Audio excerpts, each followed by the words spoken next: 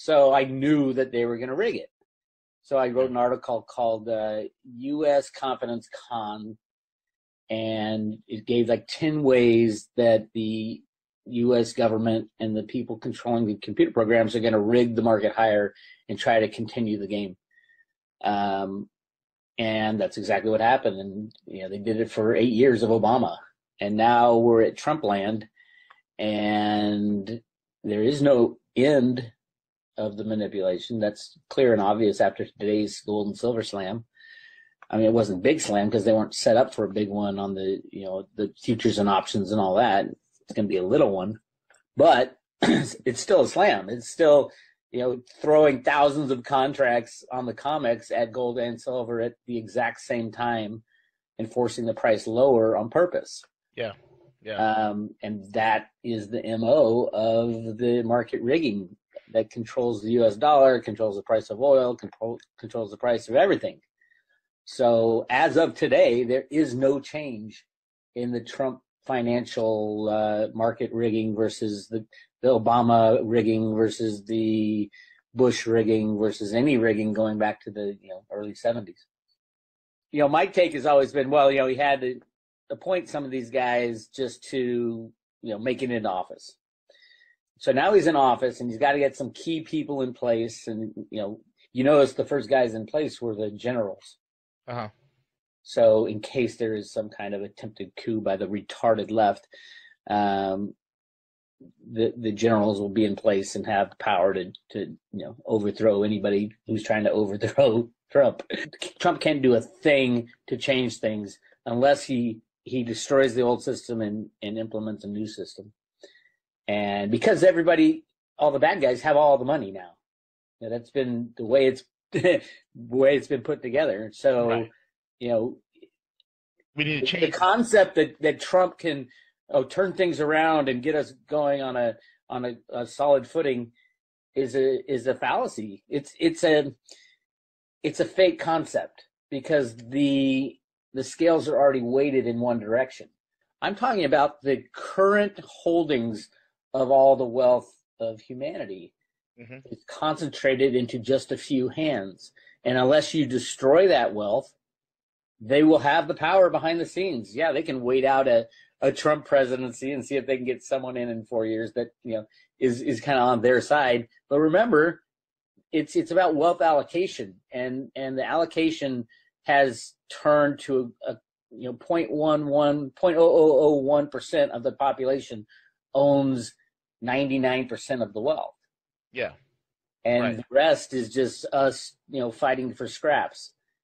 So unless there something happens to redistribute that wealth by either you know taking it away from the rich and giving it to the poor, which I don't think is the right thing to do, or destroying the electronic fictitious wealth in the first place, so that the the fake wealth, the the promises, the credits, the blips is washed away. And and that's what because they that's what they believe they meaning that 0.001% believe as wealth now.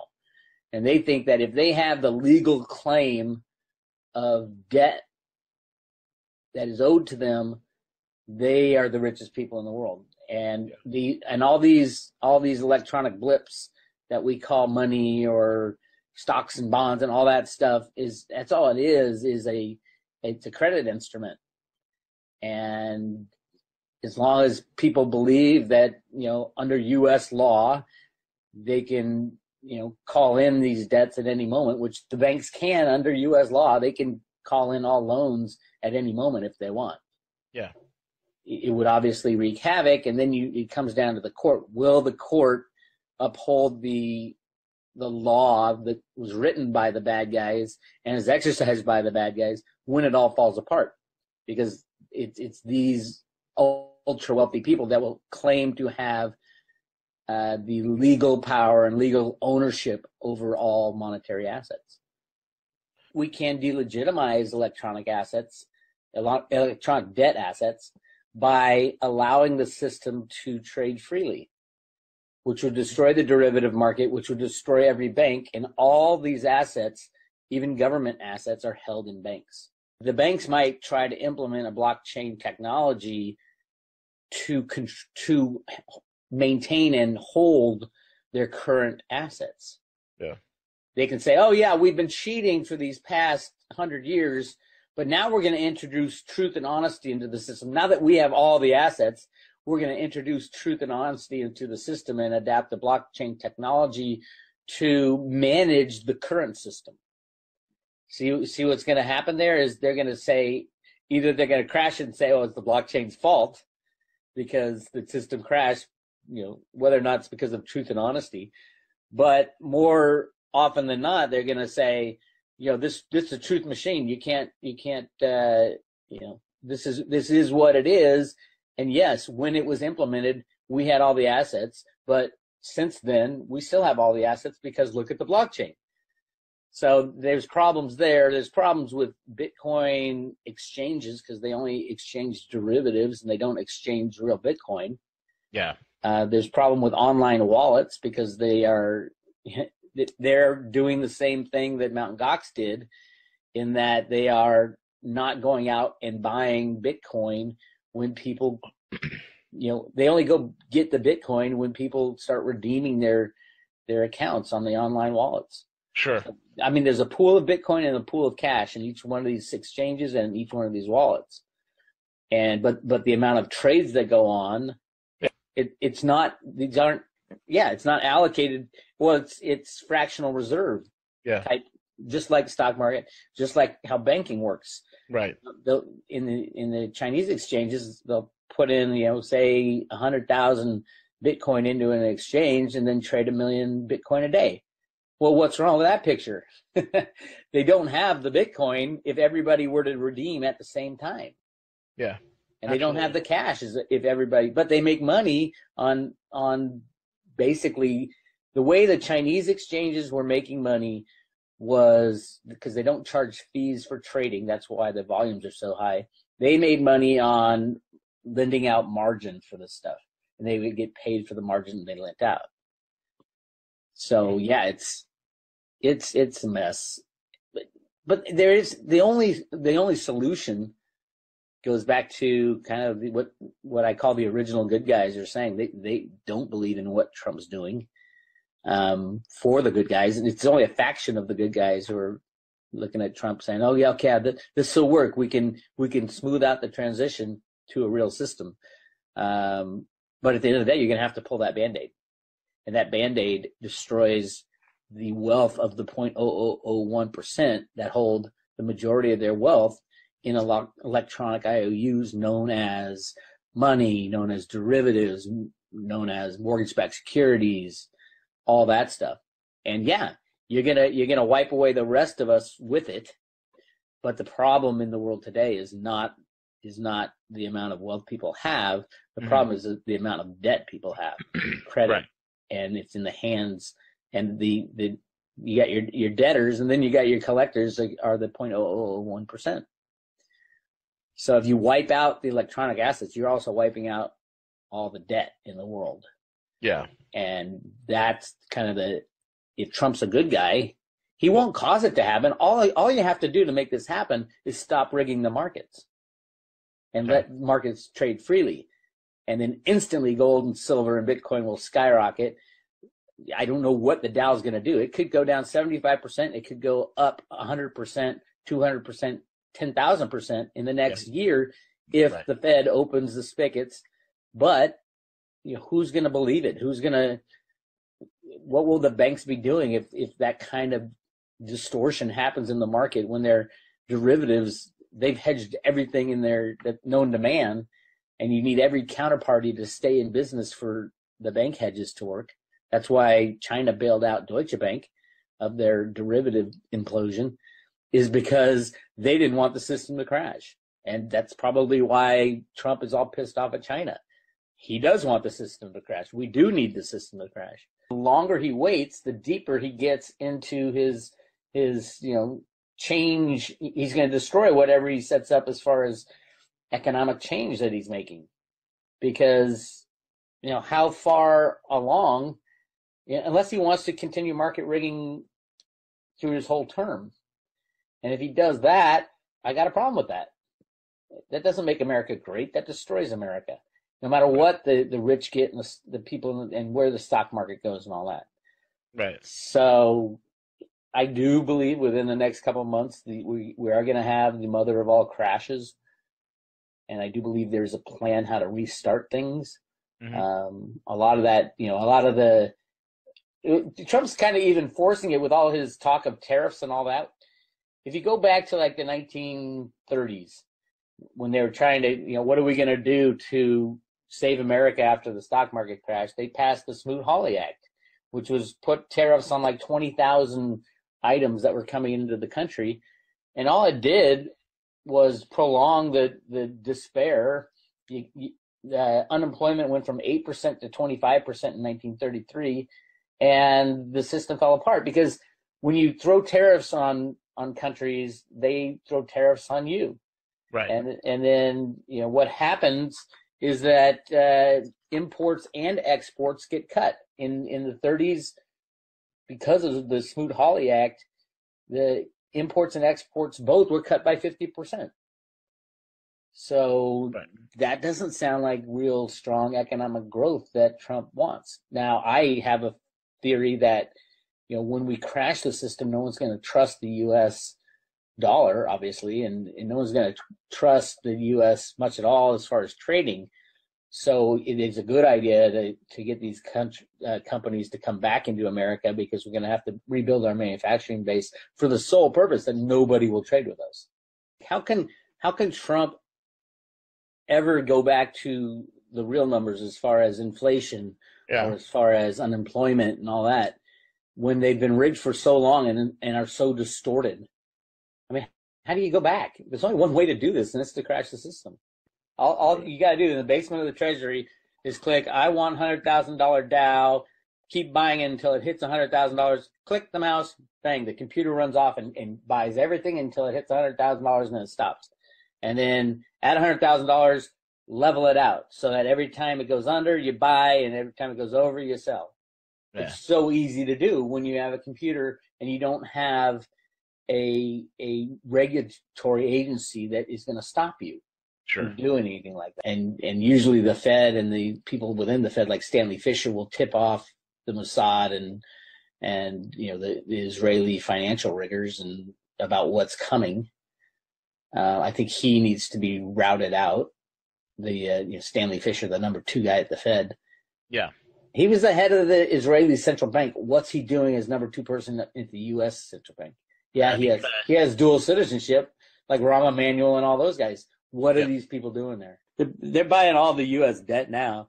The Fed and I mean the the insanity of what goes on behind the scenes. And then and then there's something that I've talked about for a long time. It's like, you know, if, if they're lying about unemployment and they're lying about the rate of inflation and they're lying about GDP and they're lying about you know all these economic metrics, why aren't they lying about the amount of money that is created? Mhm. How easy is it for the U.S. government to secretly create trillions of dollars without telling anybody or any government? Yep. If they catch wind, yeah, the U.S. will take out that country and destroy their currency using the derivative markets, which they've done to uh, Venezuela and Zimbabwe and stuff like that. It's not just the U.S. government, but yeah, of course, Venezuela was pissing off the U.S. Where's Venezuela now? Their their economy is destroyed because we destroyed it. All we have to do is click the mouse a couple times and you know sell the bolivar, and all of a sudden the government's broke and they got to go or or drive the price of oil down. CNN I watch for pure entertainment and to know what the the bad guys are trying to do. Yeah. They're I, I'm surprised that Trump still allows them to go to the uh, press conferences because now they they raise their hand. Well, Trump said the uh, the voting. There's a problem with the voting. The people who voted, you know, a lot of illegals are voting. So does he think the the election is illegitimate? I'm like, Jesus Christ, give it up already. Trump was right. Yes, a lot of people voted that weren't allowed to vote. That's how Right. Clinton won by 10 million votes. And you know, Trump didn't uh, campaign in California or New York because he knew that those states were lost in the, uh, know, Right. the electoral and- college. So why would he? He wasn't Right. trying to win the the popular vote. He was trying to win the, the election. Exactly. If he if it was a popular vote, he would have been all over California every day. Like you know, he was all over the Midwest, exactly. and He he, would have blown away Clinton. And if if if the voting thing was done correctly, which we all know it's not, it's rigged. Um, and I think that's a big change that Trump is talking about now and talking about making is is change change the voting, how it's tabulated with computers and all that. And I think they should introduce blockchain technology into the voting system to make Oh, yeah. sure that uh, it is done. So I knew that they were going to rig it. So I wrote an article called uh, U.S. Confidence Con, and it gave like 10 ways that the U.S. government and the people controlling the computer programs are going to rig the market higher and try to continue the game. Um, and that's exactly what happened. And you know, they did it for eight years of Obama, and now we're at Trump land, and there is no end of the manipulation. That's clear and obvious after today's gold and silver slam. I mean, it wasn't big slam because they weren't set up for a big one on the you know the futures and options and all that. It's going to be a little one, but it's still a slam. It's still you know throwing thousands of contracts on the COMEX at gold and silver at the exact same time and forcing the price lower on purpose. Yeah. Yeah. Um, and that is the MO of the market rigging that controls the US dollar, controls the price of oil, control, controls the price of everything. So as of today, there is no change in the Trump financial uh, market rigging versus the, the Obama rigging versus the owed to them. They are the richest people in the world, and Yeah. the and all these all these electronic blips that we call money or stocks and bonds and all that stuff is that's all it is is a it's a credit instrument and as long as people believe that you know under US law they can you know call in these debts at any moment which the banks can under US law they can call in all loans at any moment if they want. Yeah. it would obviously wreak havoc and then you it comes down to the court. Will the court uphold the the law that was written by the bad guys and is exercised by the bad guys when it all falls apart? Because it's it's these ultra wealthy people that will claim to have uh, the legal power and legal ownership over all monetary assets. We can delegitimize electronic assets, electronic debt assets, by allowing the system to trade freely, which would destroy the derivative market, which would destroy every bank, and all these assets, even government assets, are held in banks. The banks might try to implement a blockchain technology to to maintain and hold their current assets. Yeah. They can say, "Oh yeah, we've been cheating for these past 100 years, but now we're going to introduce truth and honesty into the system. Now that we have all the assets, we're going to introduce truth and honesty into the system and adapt the blockchain technology to manage the current system." See see what's going to happen there is they're going to say either they're going to crash and say, "Oh, it's the blockchain's fault," because the system crashed, you know, whether or not it's because of truth and honesty. But more often than not, they're going to say, you know, this this is a truth machine. You can't you can't uh, you know this is this is what it is. And yes, when it was implemented, we had all the assets, but since then we still have all the assets because look at the blockchain. So there's problems there. There's problems with Bitcoin exchanges because they only exchange derivatives and they don't exchange real Bitcoin. Yeah. Uh, there's problem with online wallets because they are they're doing the same thing that Mt. Gox did, in that they are not going out and buying concentrated into just a few hands.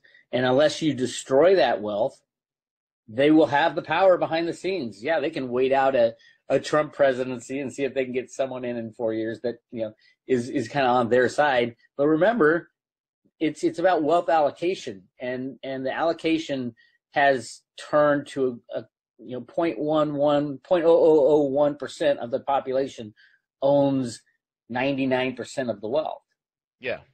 and Right. the rest is just us you know fighting for scraps. So unless there something happens to redistribute that wealth by either you know taking it away from the rich and giving it to the poor, which I don't think is the right thing to do, or destroying the electronic fictitious wealth in the first place so that the the fake wealth, the the promises, the credits, the blips is washed away. And and that's what because they that's what they believe, they meaning that 0.001% believe is wealth now. And they think that if they have the legal claim of debt that he Bush rigging versus any rigging going back to the you know early 70s. You know, my take has always been, well, you know, he had to appoint some of these guys just to you know make it into office. So now he's in office and he's got to get some key people in place, and you know, you notice the first guys in place were the generals. Uh huh. So in case there is some kind of attempted coup by the retarded left, um, the the generals will be in place and have the power to to you know overthrow anybody who's trying to overthrow Trump. Trump can't do a thing to change things unless he he destroys the old system and and implements a new system. And because everybody, all the bad guys have all the money now. You know, that's been the way it's the way it's been put together. So, Right. you know, We need to change the concept that, that Trump can oh, turn things around and get us going on a on a, a solid footing is a is a fallacy. It's it's a it's a fake concept because the the scales are already weighted in one direction. I'm talking about the current holdings of all the wealth of humanity. Mhm.